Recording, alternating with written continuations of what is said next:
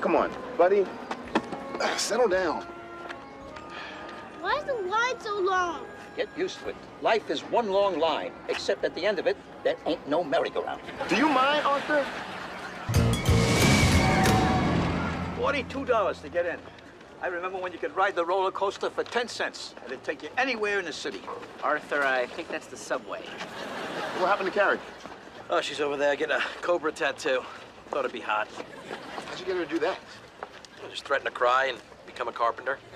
Really milking this whole midlife crisis thing, huh? Mm-hmm. Now I'm happy, she's happy. Oh, listen, by the way, if it comes up, I threw Carrie a little bone, all right? I told her O'Boyle was recommending me for that boss school, The management training program. whatever. Point is, Tuesday nights from 7 to 9, I'm not at the movies. Hmm?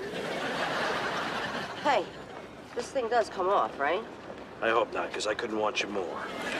All right, so what's the plan? Well, Danny and I are gonna hit the haunted castle. Yeah, scared chicks are very approachable. Now I'm taking Major to the kid zone. Oh, okay, so we'll just meet back here at 2 o'clock. All right? Huh? Sound good? Okay. Wait a minute. Who's gonna take my dad? I don't need a caretaker. Just point me in the direction of the bearded lady, and I'll be on my way. Dad, I don't want you off on your own. You know what? Maybe we should just take him with us. I can't go on the roller coaster. He's got bladder issues and he unlatches the safety bar. Deke, Oh, we're, we're, we're going on the uh, the merry-go-round. I'm sure Arthur. I love the merry-go-round. well, great. Have fun, and don't let him have any chocolate, okay? Bye. Come on, Major.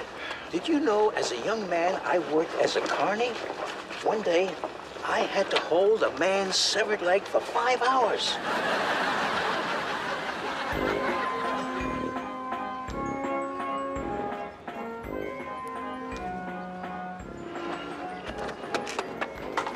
Come on, buddy.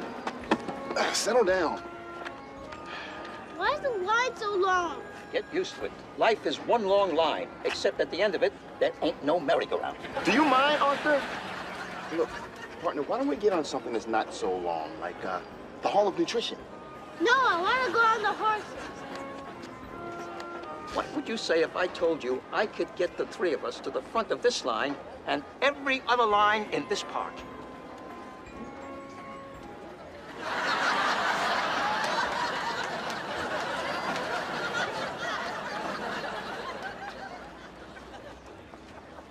What are you looking at? You don't like seeing a man in a wheelchair? Then don't send me to Korea. You're welcome for your freedom. Right this way, sir. Be driving home to the